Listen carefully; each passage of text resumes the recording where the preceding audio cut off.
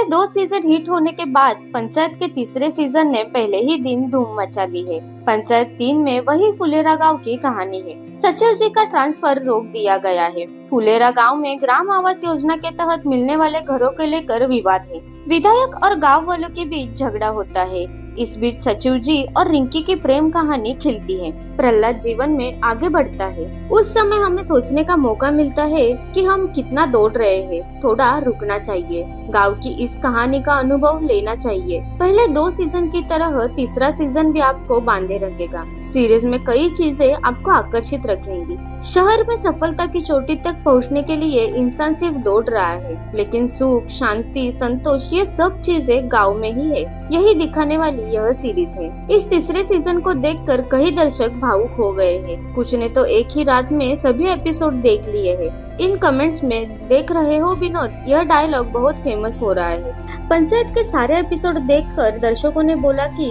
देख रहा है विनोद, पंचायत तीन रिलीज़ करके सबका दिल जीता जा रहा है। तो किसी ने बोला, मैंने तो सारे एपिसोड देख लिए, बहुत सुंदर और यह आज तक की सबसे बढ़िया सीरीज़ है। और एक ने बोला, रात को हसीन बनने के लिए आपका धन्यवाद। और ऐसी बहुत सारी कमेंट सोशल मीडिया पर वायरल हो रही है।